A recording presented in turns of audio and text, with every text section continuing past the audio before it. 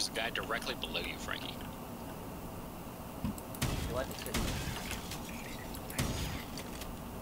In the bathroom? Good call, Eugene. Yeah. Nice. I could see him in the camera, but I couldn't. Whoa. He literally was directly below me. That was fucking brilliant. Yeah, I couldn't see him on, or I couldn't tag him, but I could see him. One of the few games where that information is actually useful.